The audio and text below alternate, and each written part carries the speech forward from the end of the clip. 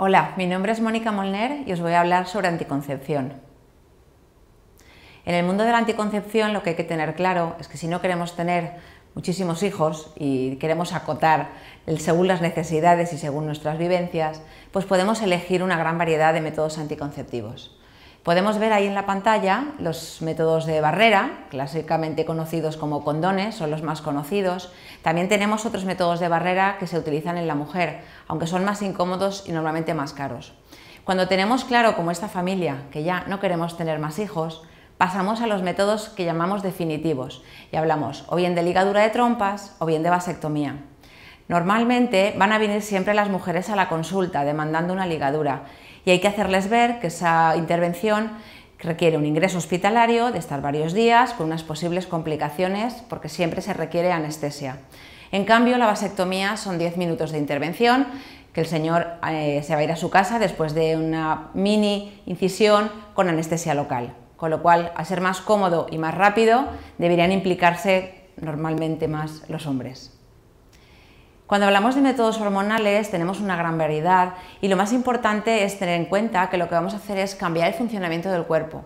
Vamos a dejar en reposo a los ovarios y al útero, de manera que al no ver óvulos no va a haber posibilidad de embarazo, pero a la vez vamos a evitar unas reglas que sean dolorosas, abundantes. A veces encontramos algunos métodos que nos sirven también para tratar otros problemas, como pueden ser el exceso de vello o el acné.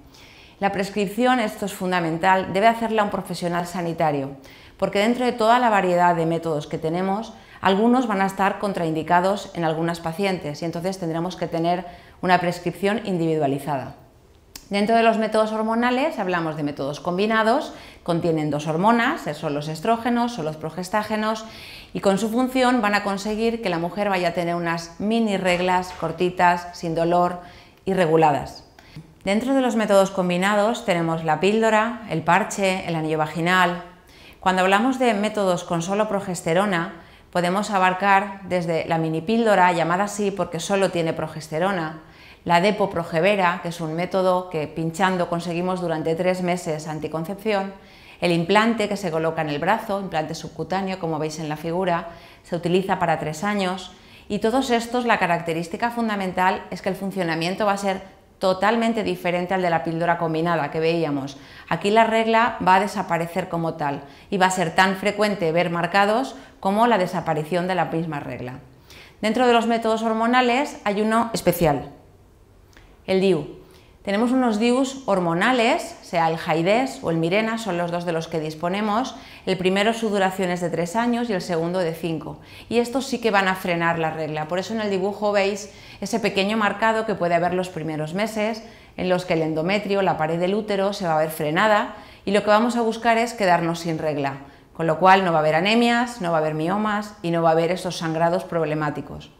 Cuando hablamos de DIU de cobre hay que plantearse que como cobre no puede tener efectos secundarios, no puede engordar, no puede provocar molestias en los pechos, no puede dar dolor de cabeza. Ese tipo de molestias van a ser ajenas al DIU.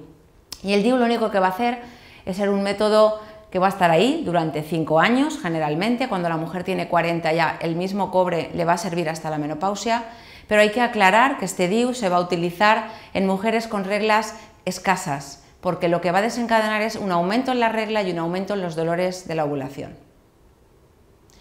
Con todo esto podemos ver que si nuestra misión es evitar un embarazo, podremos utilizar todos los métodos que hemos estado viendo hasta ahora, pero si lo que se trata es evitar enfermedades de transmisión sexual, como luego habrá otro tema que ahondaré un poquito más, pues tendremos que utilizar esos métodos de barrera que estábamos viendo, sea el condón o el preservativo, para evitar que todos estos gérmenes que veis por aquí, que son muy bonitos de ver, no son nada recomendables de padecer.